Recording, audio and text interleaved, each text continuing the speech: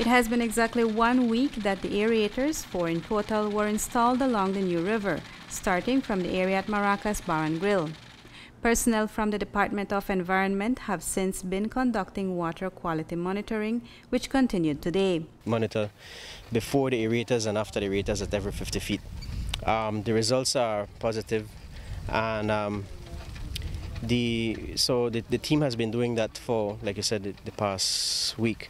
Um, additionally though what we've done is we've um, installed some booms at uh, specific areas where and what we're doing is we're trying to capture the the organic film at the top um, and then we'll, we'll, be scooping it out.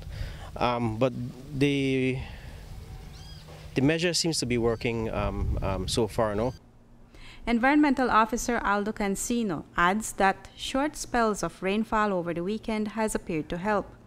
Today, the water near Lamanai Riverside Retreat and La Inmaculada RC School flowed steadily. The thick white film and chocolate brown color has disappeared.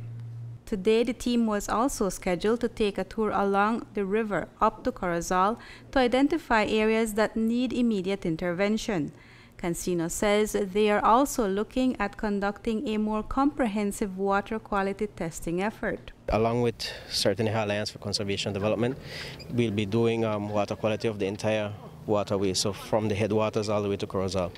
And so getting that information is, is very critical. It will give us an idea as to um, the quality of the water throughout the, the, the, system. So not only focusing here, but we're now we're looking at the interventions upstream and looking at, of, of course, interventions downstream as well. No? Um, but the results seem promising so far. As the work continues on the New River, concerns are now rising among residents in Corozal. Last week, a video was published on social media showing dead fish. The person filming claims it was along the Corozal Bay and made reference to the state of the New River.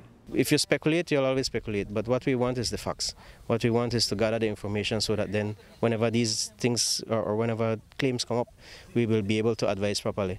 Um, and the reason, another reason for going up the river is to actually employ strategies to see if we can um, along those areas so that because we recognize these concerns, no? it's an integrated water system. Everything that happens upstream and winds up downstream.